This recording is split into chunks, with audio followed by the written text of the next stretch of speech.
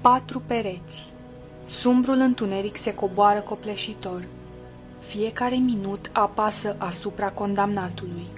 Gardianul cheamă la apel deținuții. Var stins aruncat peste ei. Apă rece. Pielea sfârâie îngrozitor. Și, surprinzător, distracție pentru privitori. Clipe de groază, coșmar pentru supraviețuitori. Pare de necrezut și totuși real.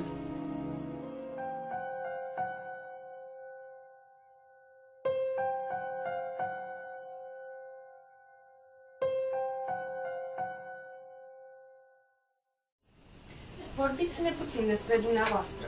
Faceți-ne un scurt istoric al trecerii anilor.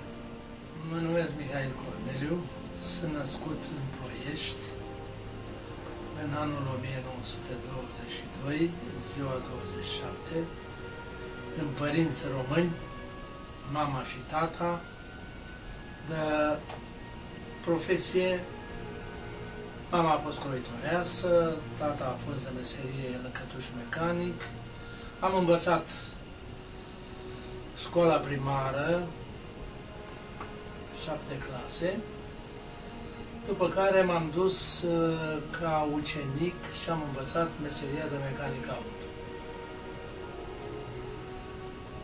Până la vârsta de deci 13 și cu 4, 17 ani, la 17 ani am primit calificarea ca mecanic calificat auto. Uh, după ce am reușit să devin un meseriaș calificat, am lucrat mai departe până când a trebuit să ajungem la momentul când trebuia să mă mut din uh, Ploiești să mă mut în București. Deja eram, în ce privește problema vieții personale, eram crescut în, nu am, am, uh, am evitat, n-am evitat, am omis să vă spun de la bun început, noi suntem de credință adventiști.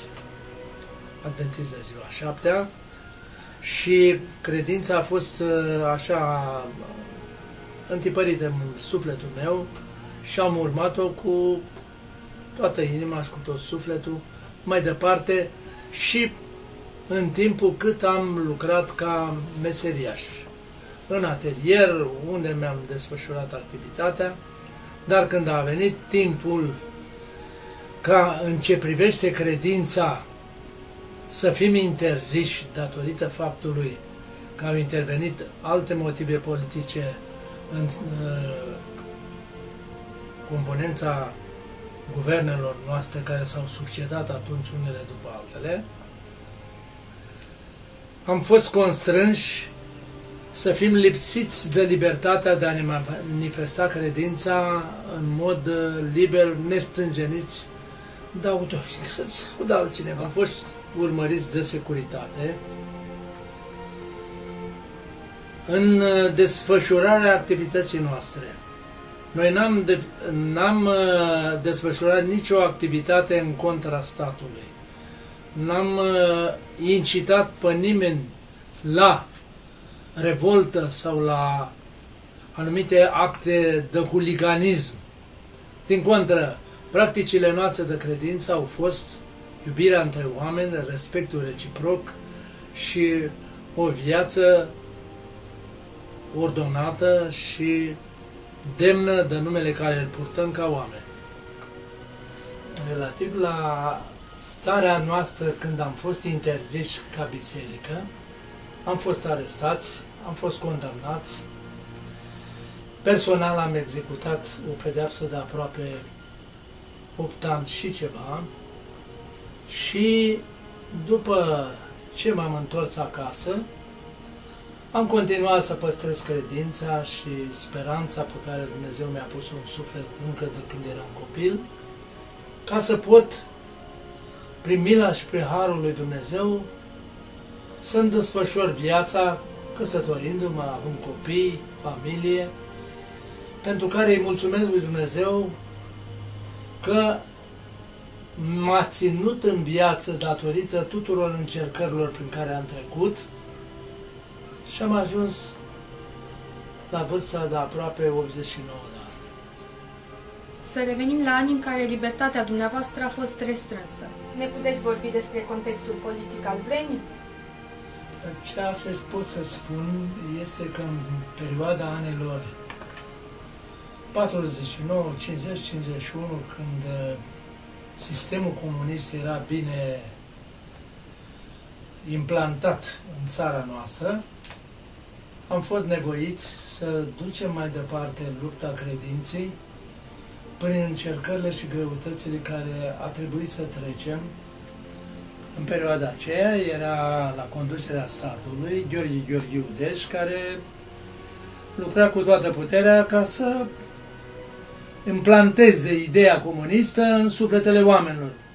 Care au fost motivele directe pentru care ați intrat în vizorul securității?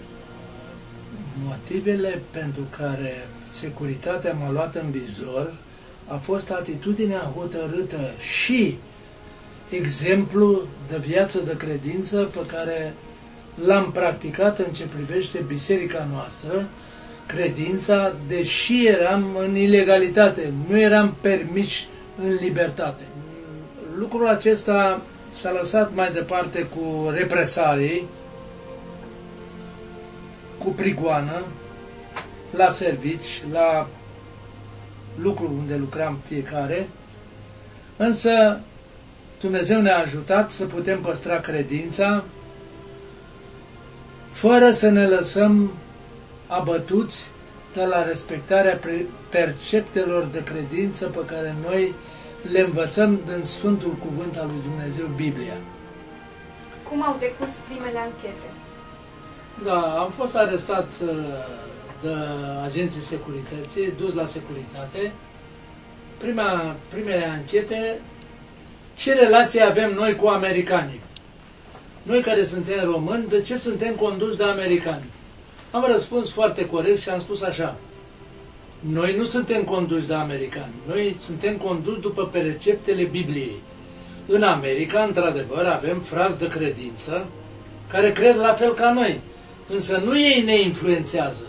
După cum și dumneavoastră, ca oameni politici cu politica pe care o profesați, aveți membri de partid în toate țările, așa avem și noi membri de noștri de credință în America, în Europa, în Asia, peste tot. Ați putea să ne povestiți momentul arestării dumneavoastră? Da, momentul când am fost arestat am fost luat după stradă, pentru că eram deja urmărit unde mă mișcam, ce făceam. Am fost dus acasă, mi-am luat uh, lucrurile care pentru corp și am mers la securitate. Acolo a continuat cercetările, interogatoriu și a urmat perioada când a trebuit să mergem la judecată să fiu condamnat. Am fost condamnat 8 ani, privat de libertate, cu confiscarea averii, cu toate problemele care au decurs din sentință lucru care a mers mai departe, ce să spun, cât, uh, cât a fost uh, timpul cât a trebuit să stau închis. Am fost eliberat cu câteva luni înainte de executarea pedepsei, pentru că a intervenit un decret, nu mai știu ce anume decret, care m-am eliberat cu câteva luni mai înainte de împlinirea termenului de judecat. Ați păstrat legătura cu familia în acest timp? Legătura cu familia am păstrat-o numai primind, mi se pare, o scrisoare sau două. Mi-a scăpat în vedere să vă spun că din moment ce am fost arestat, casa mea a fost percheziționată, tot, tot, întoarsă casa Pădos, mi-au fost confiscate toate cărțile care s-au găsit în ce privește cărțile de credință și alte cărți care nu aveau nicio tangență cu credința. A fost luat tot ceea ce era considerat ca material compromisător împotriva regimului comunist.